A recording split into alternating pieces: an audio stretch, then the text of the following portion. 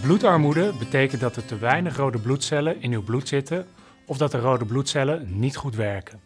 Rode bloedcellen zijn de cellen die zuurstof vanuit uw longen naar alle delen van uw lichaam vervoeren.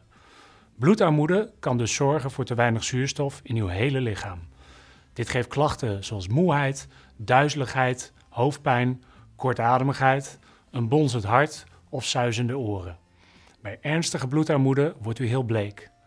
Voor rode bloedcellen heeft u ijzer nodig.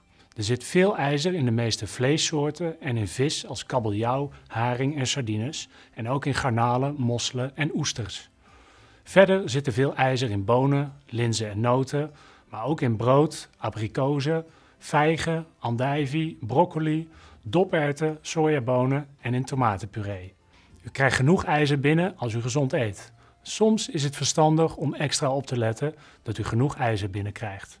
Bijvoorbeeld als u veel bloed verliest na een operatie, een bevalling, een miskraam of bij regelmatig hevige menstruaties.